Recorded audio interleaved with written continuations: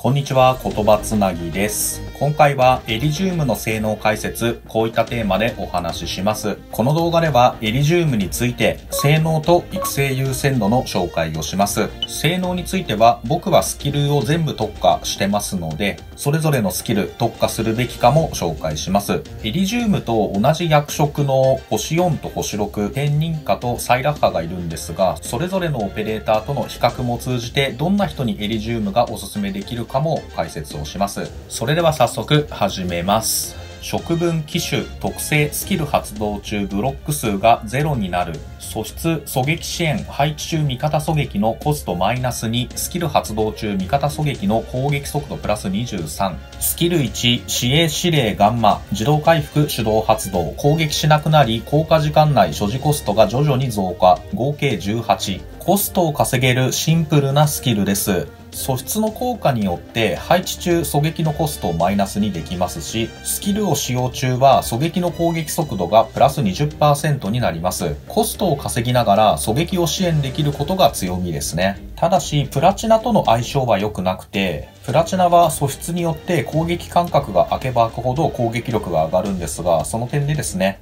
プラチナとエリジウムの素質の相性はいまいちとなってます。エイプリル単独で帝国先鋭戦法を攻撃するとギリギリ倒せないんですが、エリジウムの素質効果で支援することで、エイプリルが1回で帝国先鋭戦法を倒せたりします。特化について、スキル1は比較的おすすめはできます。初期 SP が増えて消費 SP が減ります。スキル初動が 6SP 分早まるのが大きいポイントで、以降ですね、3SP 分前倒しでスキルを使えるようになるので、シンプルにコストの回収率が上がっていい感じですね。スキルに集音、自動回復、手動発動、効果時間内所持コストが徐々に増加、合計20、攻撃しなくなり、周囲最大4体の敵をマークする。マークされた敵は効果時間内で移動速度マイナス60%、防御力マイナス35%、ステルス状態が無効化される。コストを回収しながら広い範囲内の最大4体の敵にデバフを負ける優秀なスキルです。スキルを発動した時に範囲内にいる敵にしか効果がない点は注意です。序盤はコストを回収しつつ構築中の戦線の援護。中盤以降はラッシュ対応だったり強敵処理のサポートなどできるので高難易度でも活躍が見込めます。特化についてスキルにはですね、特化非常常におすすめできます。スキル回転率と防御デバフの倍率が上がります。コスト回収のしやすさと強敵処理のサポート能力が上がって非常に便利です。エリジウムの強みまとめ。素質効果は狙撃のコストを減らせて、エリジウムがスキルを使うときに狙撃の攻撃速度を上げることができます。スキル1はコスト回収特化で、スキル2はコストを回収しつつ移動速度と防御力の低下、ステルスカンパなど様々な効果があるので、序盤を乗り切った後も活躍できるケースがあります。過去の危機契約の高等級、それこそ最高等級などでも活躍した実績もある優秀なオペレーターです。どんな人にエリジウムがおすすめか、天人化とサイラッハと比較をしてみます。機種は全員優秀で、コスト回収以外のですね、付加価値がそれぞれ違います。天人化は先方の HP を回復できますし、サイラッハは軍機を所持していて、で周囲8マスのですね、味方の攻撃速度を上げて、敵の攻撃速度を下げることができます。さらにはスキル3が非常に優秀で、20SP で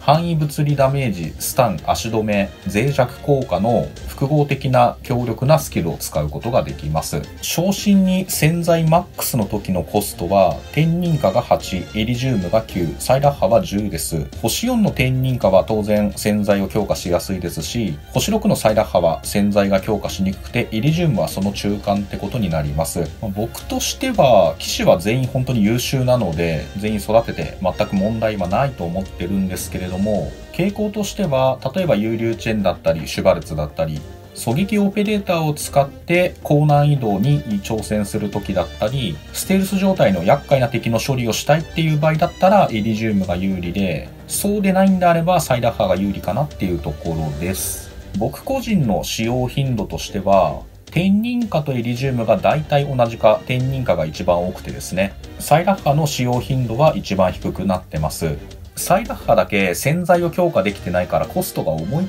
ていうのも一因ではあるんですが、サイダッハを所持していて、エリジウムの洗剤強化が低いか、全く洗剤強化できていないんであれば、エリジウム育成の恩恵はどうしても低くなります。サイラッハを未所持なのであれば、エリジウムを育成する価値はかなり高いと思います。一番エリジウムの取得だったり育成をお勧めできる人は、サイラッハを所持していない人ですね。総評としては優秀な保守機種っていう感じですね。天人かバグパイプとの併用で爆速でコスト回収することができます。同薬色の星6サイラッハは極めて便利な性能をしてるんですが、その点エリジウムは狙撃への支援だったりステルスカンパ、移動速度、防御力デバフができるので十分差別化はできてる印象です。交換と育成について、サイラッハを所持していないのであれば、取得だったり育成の優先度は高いと思います。資格書に余裕があるんであれば、ぜひ交換の検討もしてください。サイラッハを所持している場合ですね。僕としてはそれでも育成をお勧めしますし、場合によっては交換もしていいとは思うんですが、